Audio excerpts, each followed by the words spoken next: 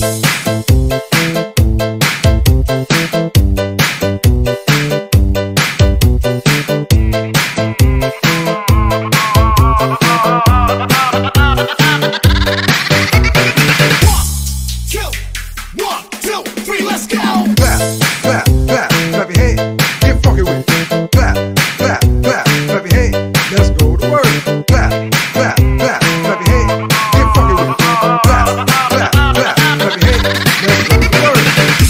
DJ Torrance on the mix.